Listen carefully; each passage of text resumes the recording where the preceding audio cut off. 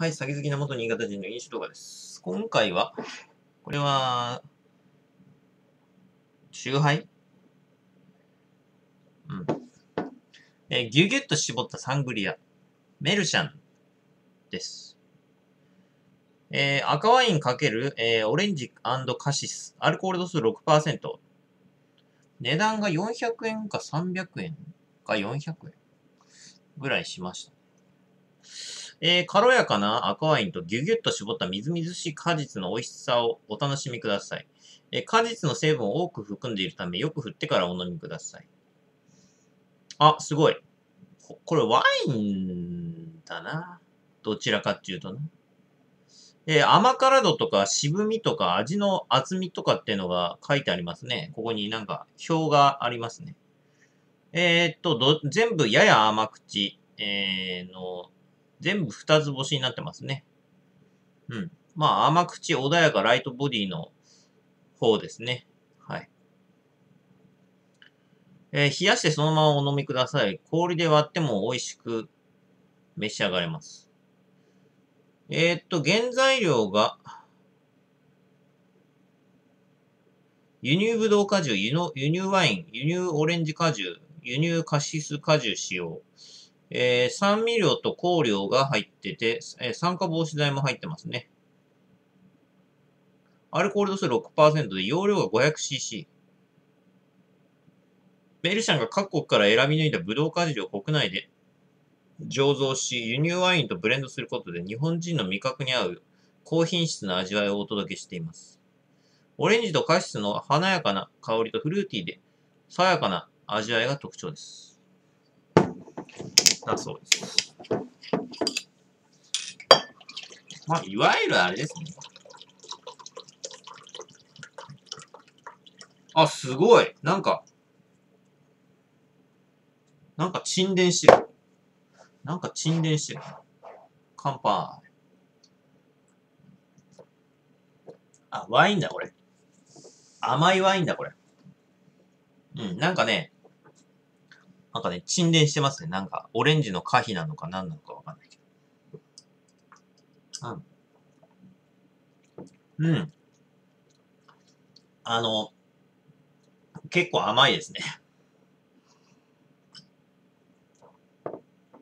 あ甘いワインみたいな感じですね。うん。ワインにオレンジ、オレンジの果汁、オレンジジュース加えた感じかな。うん。うん、結構赤ワインの味とオレンジの味が、どちらかというと突出してますね。うん。これ飲みやすい。これ美味しいですね。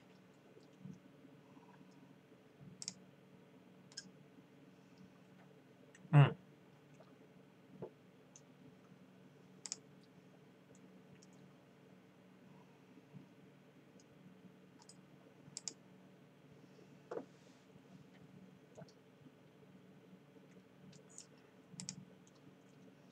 うん。ただ結構、あの、なんだろう。うん。サングリア。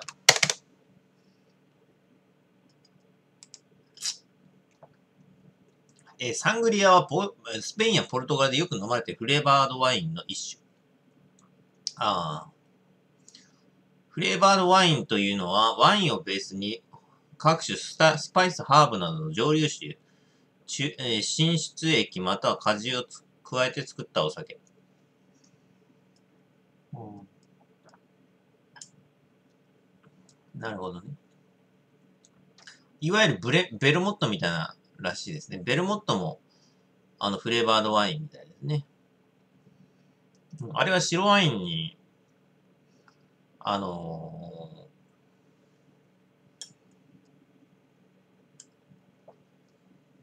なんだっけ、香草とか入れてんだっけ？え、赤ワインに一口大また、えー、またはスライスした果実と甘味料を入れ、風味付けとしてブランデーあるいはスパイス、過去シナモンなどを少量加え一晩寝かすとできるみたいです。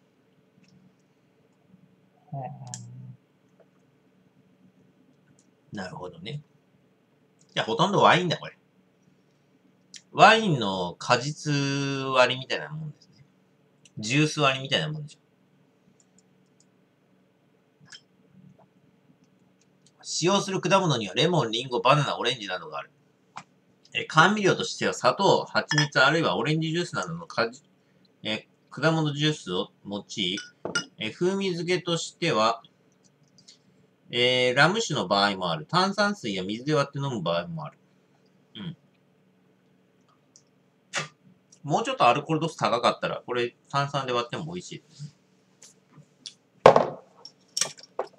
清涼感があるため夏場によく飲まれる冷蔵庫や氷でよく冷やしてフルーツの味を馴染ませるとより一層美味しい。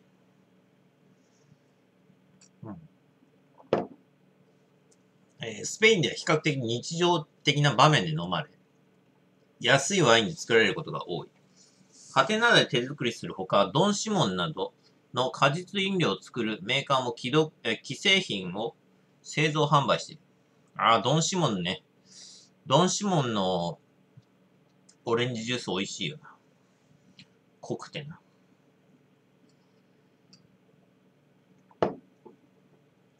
まあ、これは高いワインで作ってももったいないだけでしょうね。安いあの300円、ワンボトル300円ぐらいのワイン買ってきて、適当にオレンジジュースとか入れればまあできるわけですよね。俺普通のこれワインよか、あの、単品で飲む場合は全然美味しいですね、これは。うん。非常に飲みやすい。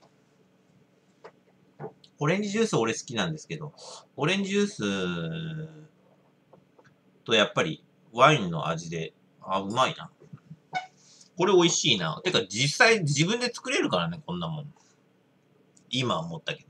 だって300円のワイン買ってきて、あと、あの1リットルのあの100%オレンジジュース買ってきて、ビャーって混ぜればもう出来上がりでしょ？これ絶対、しかもこれ400円ぐらいするんですよ。500cc で400円ぐらいするでしょ？これ自分で作った方がいいな。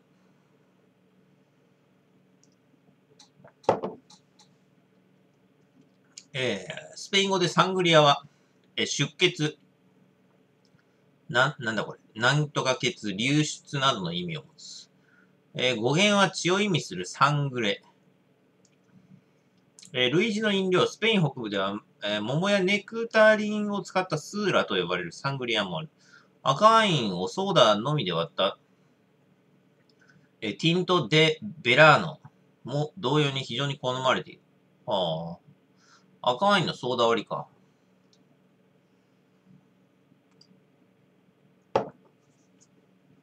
赤ワインの代わりに白いワインを使ったものはサンサングリア・ブランカ。過去、ブランカは、えー、白という意味とも呼ばれ、と呼ばれ、えー、なんだこれ、主にソービニョン・ブランを用いる。えー、酒税法との関係、日本では混成酒、過去、いわゆる梅酒のような果実酒をえー、家庭で作る場合でも20度以上の酒に漬けることが前提となっているため、家庭と、えー、家庭用といえども、せえ作成した場合は酒税法違反となる。過去種、種類、えー、製 製造免許があれば可能。どうしても飲みたい場合は、一杯ごとに、えー、飲む直前に果物を入れる。過去、これをサングリアと入れるかどうかは別途検討が必要である。えー、または、えー、店舗での提供は20度以上の蒸留酒となっているため、スタンダードなレシピでは提供自体ができない。あまあ、20度以上のワインっていうのは、まあ、ほぼ存在しないですよね。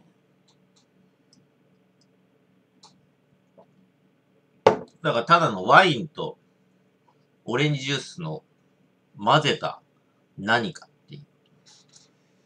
まあ、サングリアに非常に似た何かっていう。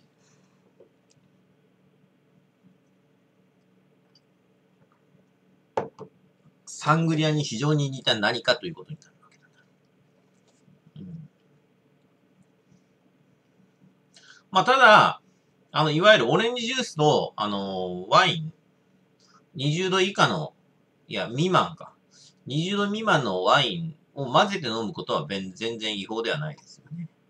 これはあくまで漬けて、あの、いわゆる醸造させるっていうか、あの、梅酒のように長期間寝かせるのが違法であって、あの、その場で飲む分には全く問題ない。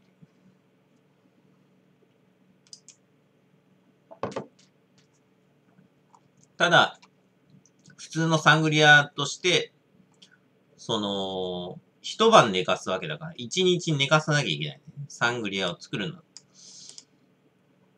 だから20度以上のワインを使わないとダメっていうことですね。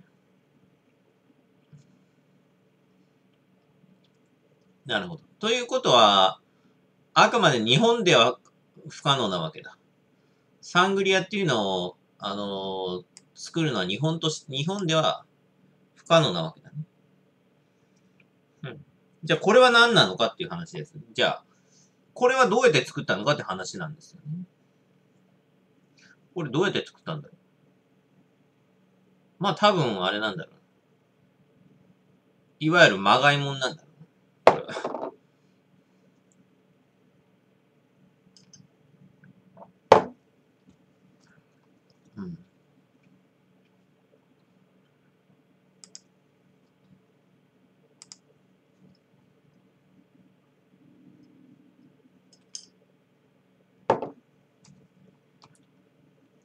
えー、家にワインがある人は絶対に頼みすべき。自宅で簡単に作れる絶品、えー、自家製サングリアのレシピ9選。これ紹介して大丈夫なのか？こんなの。全部違法だぞ。まあ、いわゆるカクテルとして作るっていう感じなのかな、これ。サングリアの基本は好きなフルーツを切ってワインと合わせるだけ。えこのサイトは違法なんじゃない？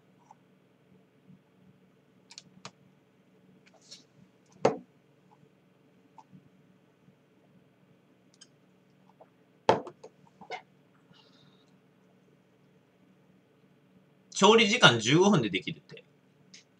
じゃあ違法じゃねえな。え材料、えー、リンゴ2分の1、えー、レモン2分の1、グレープフルーツ2分の1、カットパイン5、6切れ、えー、白桃缶2切れ、ミント適量、三ツ矢サイダー1と2分の1カップ、辛口の白ワイン2分の1、1瓶。はあ。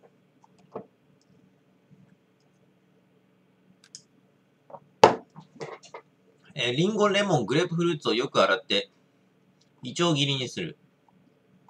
うん。えー、白桃とパインを一口大にカットする。ポポットにカットしたフルーツとミントを入れ、三ツ矢サイダーとワインを注ぎ、よく混ぜれば完成。あ、もう出来上がりなんだ。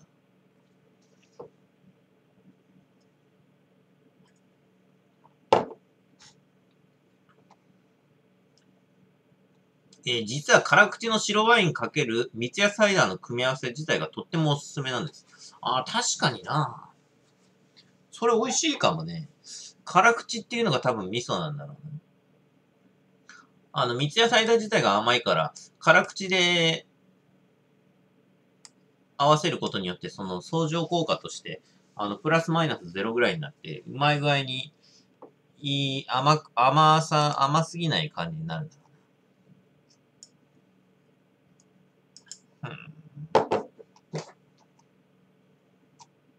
ということで、いろいろ載ってますね。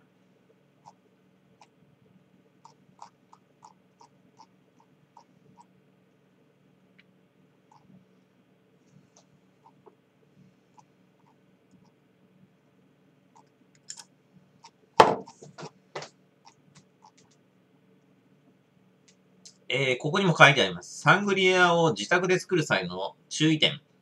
サングリアを自宅で作る際に1点注意しなければならないことがあります。えそれは飲む直前にフルーツを入れるということです。なぜなら、漬け置きは自然法違反になるからです。漬け置きをしないとおいしくならないんじゃないと心配される方もいます。いますが、ごし、ご安心ください。今回紹介するレシピも漬け置きせずに飲む直前にワインとフルーツを混ぜましたが、しっかりフルーツの香りがして美味しく作ることができまして、酒税法に関しては、えー、以下のページを参考にしてください。これなんでこれ、酒税法違反になるかっていうと、あの、危険だからですね。あの、低アルコールで、あの、酒をつけると、まあ、梅酒とかつけるとですね、あの、いわゆるアルコールが低いことによって、その菌が増殖するんですよ。菌が増殖したものを飲むとですね、まあ、非常に危険だと。下手した死人が出るということですね。だから、酒税法で違反してるんですね。危険だから。20度未満でつけちゃうと、アルコール度数が低すぎて菌が死なないんですよね。まあそういうことでしょうね。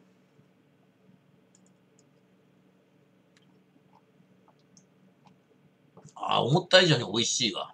今度あれ試してみよう。白ワインかける、あの、あ三ツ矢サイダー。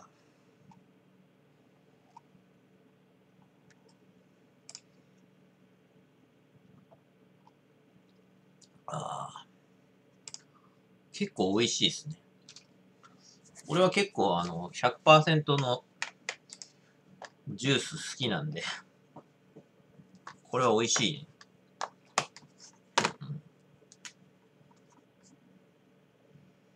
コク、甘み、うん。コクもあるし、甘みもあるし、香りもまあ、まああるかな。4444で少しありがとうございました。